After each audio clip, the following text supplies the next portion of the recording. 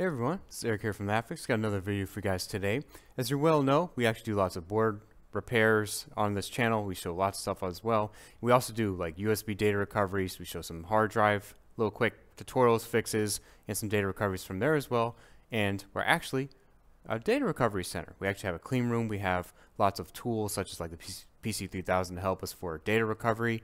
And um, today we're actually going to be showing a pretty interesting one. It's going to be pretty much diagnosing a hard drive that is actually clicking.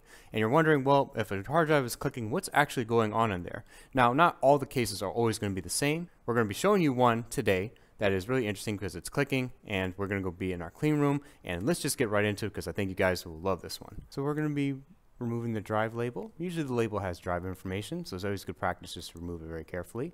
Also, the plate screws are important to remove at this point uh, because there's also not just screws to the plate, but it's part of the drive as well.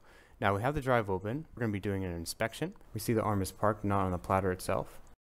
We're going to be checking this filter in the corner first to see if it's dirty. Looks to be pretty clean, so we're going to put it back in. Now we're going to be inspecting uh, the platter and we're using this special green light that's going to be showing debris or any scratches or micro scratches. We see there's actually some contamination to the platter here and we're going to just be cleaning it. We need to be very careful especially in this process. Now we're going to actually be turning it on and you're going to see the problem with the drive itself. And this is the problem that, that you may actually see or hear sometimes.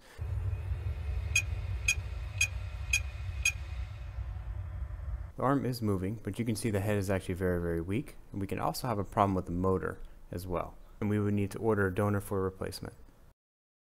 Now we're going to be putting the drive back. And again, it's very important to do this absolutely carefully because you can still damage any of the open parts that are in there. And then we can put back the label and then we will just wait for the donor to come in and then do the head replacement.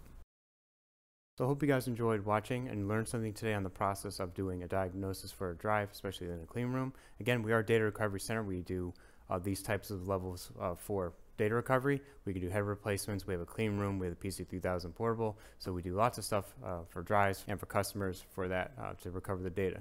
And always, even when you do this, it still isn't going to be completed because then you still have to extract the data and there still can be other problems as well um, doing that whole entire process. There can be encryptions and just getting the data off is, is always a lot of work. So, but that's why we're here. We're always here to help. Hope you guys enjoyed watching this video. If you did, please leave a like. It really just helps a lot. Subscribe for more content, data recoveries, uh, motherboard repairs, motherboard repairs for data recoveries, USB repairs for data recoveries. Do lots of cool things. So that. So hope you guys are watching. Thanks a lot, guys. Take care. Bye.